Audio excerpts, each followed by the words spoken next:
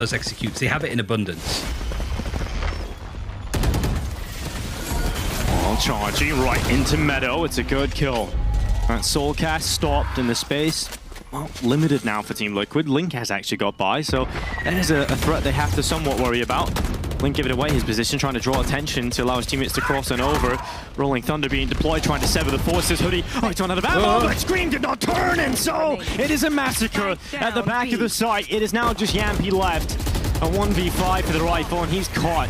A headshot from Mixwell and a flawless round from G.